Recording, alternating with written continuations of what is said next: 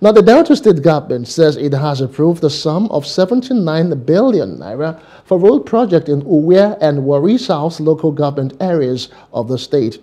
The Commissioner for Financials in the state, Fidelis Tilije, said this while speaking with newsmen shortly after the post-exco meeting at Government House in Asaba. In that Warri environment before now, over 40 years ago.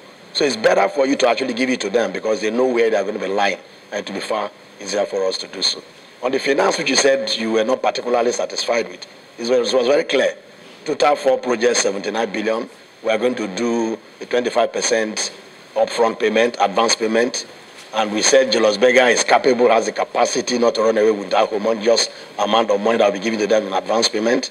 And we also said that the other balance of it we will do within a 30-month period with an ISPO, which is conditional upon submission of certificates. So I think it's very clear. And I mentioned, I emphasized that the 25% advance payment is ready as we speak today. So and I'm sure that Julius Berger will be up and doing very shortly. Approved four contracts aimed at solving the gridlock often experienced between Effurun roundabout through PTI Road Junction to, DS, to DSC roundabout on the Effurun Patani East-West Highway at Effurun as well as at the stretch from Enerhen Junction Effurun to Marine Gate Warri in Uvwie and Warri South local government areas.